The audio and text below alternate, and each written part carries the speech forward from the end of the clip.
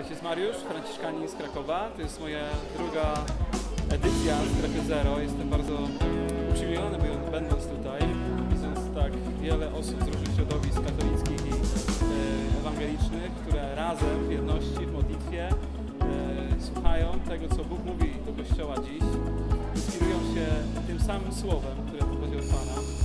I wierzę, że to przyniesie owoc e, tutaj dla naszych wspólnot,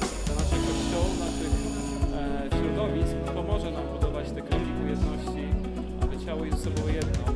Muszę coś taką e, intuicją tej, tej strefy, aby podobać jeden, jeden Kościół Chrystusa, który jest skupiony na nim, a nie na swoich podziałach. Bardzo dziękuję, że mogę tutaj być i cieszę się